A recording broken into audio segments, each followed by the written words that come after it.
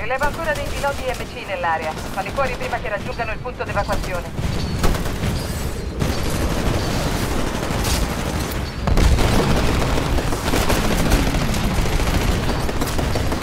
Esplodere la navicella nemica in volo.